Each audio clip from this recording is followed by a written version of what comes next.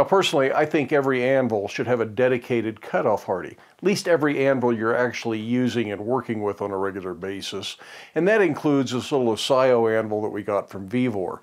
I find that I'm in this little shop a lot more than I thought I would. Even though the coal forge isn't set up yet, I'm still in here using this little anvil from Vevor and the little gas forge from Vevor. No, they're not sponsoring this video, but right now these are the tools that make this shop functional. So I thought we would make a little hardy for this anvil today.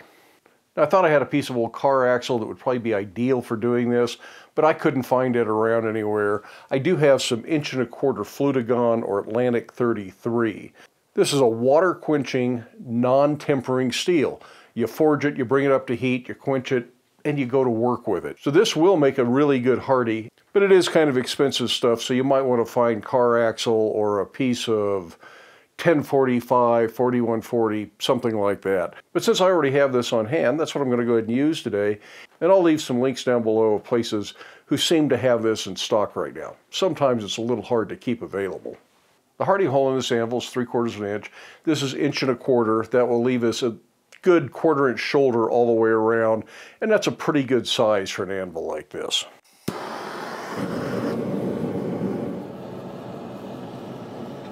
I'm going to try putting some magnets on this anvil, see if that deadens the ring a little bit more. These little anvils really do like to ring a lot. This starts off by drawing out a taper that will eventually fit the hardy hole. And then we square it up and that way it fits down in there.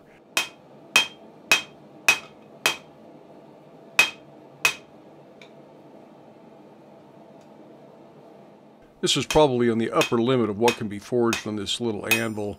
You can see how it's jumping and bouncing. That's just energy lost when you're forging it. Any energy making the anvil move is energy that didn't go into the work. On the other hand, this is vastly better than not having an anvil at all, so you just have to put up with whatever it is you have to put up with.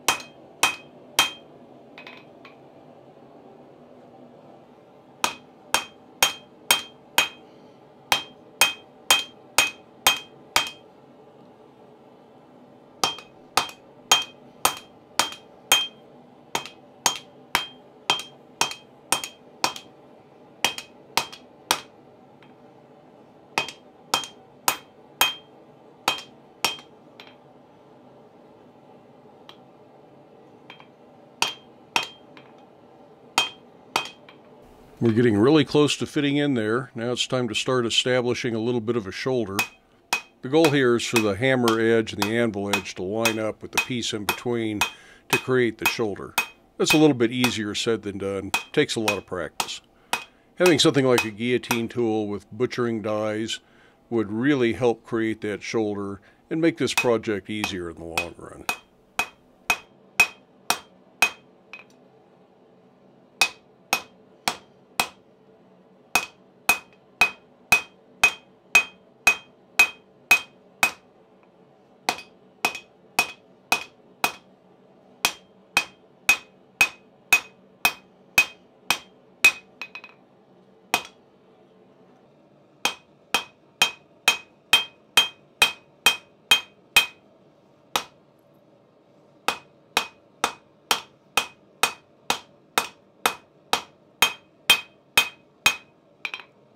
It looks like I finally run out of propane in that 20 pound cylinder using this little single burner forge.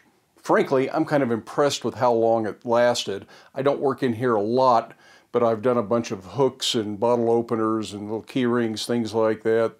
Few tools for the demonstrations that we've been using featuring that forge and this anvil, and I just now need to go fill it up. So that's pretty good. Unfortunately, I wanted to get that shank that goes in the hardy hole close to size before I let this piece cool down. So I just ran over to the other shop real quick and I used the forge over there. And I have this now reduced to size. It's another 15, 20 minutes worth of work. It's a little faster there because I've got a bigger anvil and it doesn't bounce around as much as this one. But it was getting done on this anvil and you can do all this. Now I'm going to let this cool down with the forge. I'm going to see if I have a spare propane tank. I think there might be one with my barbecue grill. And then we'll swap this tank out. Once it's cool, we'll cut it off and we'll finish fitting it to the hardy hole. Right now, it is not an exact fit, doesn't have a clean shoulder on it. If you have a guillotine tool with some butchers in it or some other way to create a clean shoulder at the anvil, that's a great way to go. But I'm assuming most of you don't have that. So we kind of created an ugly shoulder and we're going to upset this down into the hardy hole once we have some more propane. Now this video really isn't part of the affordable blacksmithing series, even though we're using most of those tools. People had asked me, well, why aren't you wearing your leather apron? Well, that was just because it wasn't part of the budget for that series. It is a good idea to have an apron. If you're looking for one, this comes from April at Forge Aprons. There's a link down in the video description. No, I'm not being sponsored by her either, but if you're looking for an apron, this is a good source. You'll also need to buy more tongs to do something like this. You need tongs that hold this larger material, or you need to be able to weld a stub that you can hold on to with the tongs you have. Luckily, I've got an assortment of tongs, so I was able to find something that works pretty well.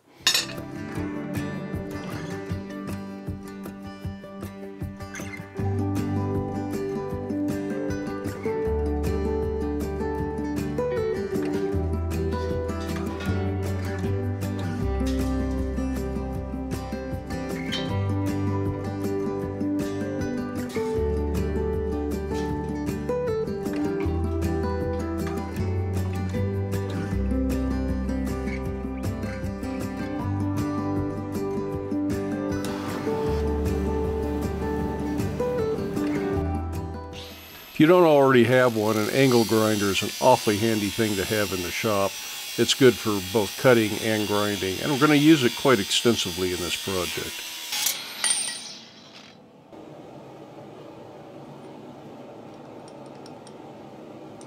Now I want to upset this down into the hardy hole. This helps with a really good fit on the shank as well as creating that nice shoulder. I'm going to try and bevel the top a little bit so that when I start drawing this out, I'm less likely to create an overlap or fish lips they're some kind called. Boy, that anvil's moving a lot. This is a 60 kilogram anvil, which is 66 pounds, and I'm using a 3 kilo hammer, which is 6.6 .6 pounds. So that's one-tenth the weight of the anvil. And that's about the upper limit of hammer size to an anvil. So so your anvil should always weigh 10 times more than your biggest hammer.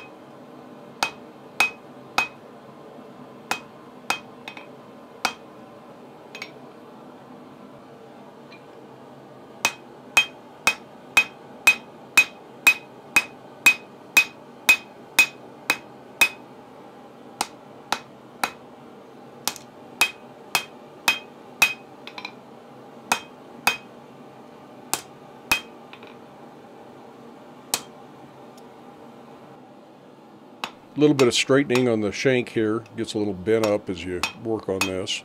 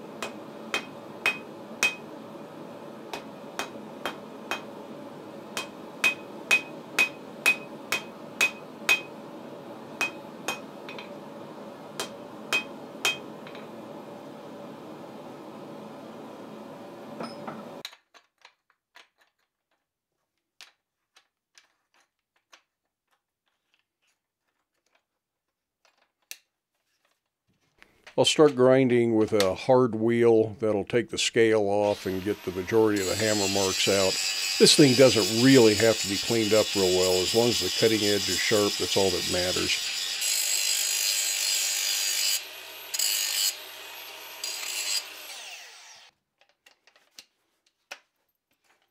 Once that's done, I'll switch to a flap disc. This is a 60 grit flap disc. Then I'll finally finish it up at the end with a 120 grit disc. That's the finest I had on hand. You can go finer if you want. But as I say, it's really not necessary. Function is the number one concern.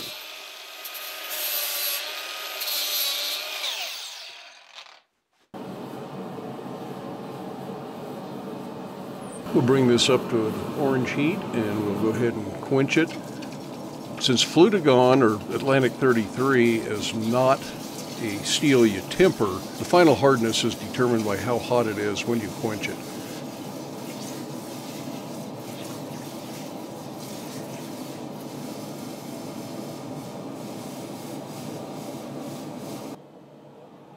But fits nicely. Now just a little bit of sharpening up. Doesn't have to be razor sharp. It's not a woodworking tool. It's meant for cutting hot steel. And it can be fairly dull, just not rounded over.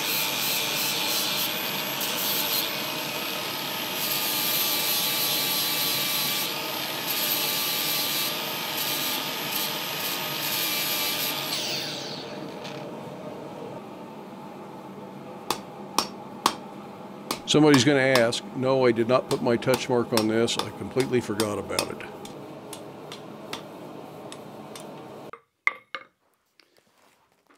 Well, that's a perfectly functional little Hardy, and it came out pretty good.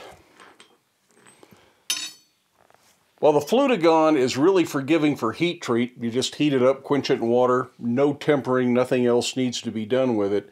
It was a little bit stiff to forge, and when I started and I had the low propane tank working on the stem, it was really hard to forge. I was just was not getting the heat. I didn't have enough propane in that tank to get the pressure I needed.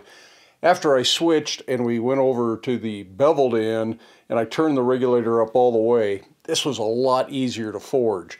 So if you're having trouble getting the heat, you may just be low on propane, especially if you're working in a little 20 pound cylinder they really don't do the best. A 100 pound cylinder is better, but you can get by in a 20 pound cylinder. Just have a couple of spares on hand.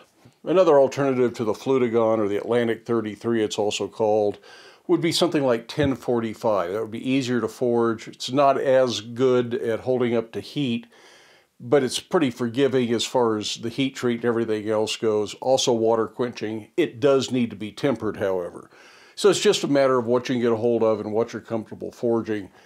The Atlantic 33 is really expensive, but I'll leave some links down below if I can find some places that have it in various sizes. It's also a great steel for punches, chisels, things like that. If you're just setting up shop and you've been working with the basic tools that we've been talking about in some of the past videos, and you're looking to upgrade to the next tool, an angle grinder is a pretty good choice. A battery operated one like this is a pretty expensive purchase. Really nice when you got a shop with no electricity in it like this one is. But if you have electricity or can run an extension cord from the house, something like that, the plug-in grinders are probably a better value. And there's some really affordable plug-in angle grinders. I don't know how long they'll last at a cheaper price, but you can find them sometimes for under $50. Buy an assortment of discs, cut-off discs, grinding discs. I took this down to 120 grit finish with a flap disc, and that's what I use to sharpen it on. Everything you need can be done with an angle grinder for simple projects like this. So it's a handy tool, and we'll talk more about these later. I'm thinking about investing in some of those bargain angle grinders and just seeing how well they work. I don't know that it'd be a very scientific test, but it might be worth presenting and, and seeing a couple of those sub $50 grinders. I just can't decide if I want to spend money on grinders I don't actually need. Till the next time, I hope you have time in your day to get out to your shop. Make something, but stay safe, wear your safety glasses. We'll see you for the next one.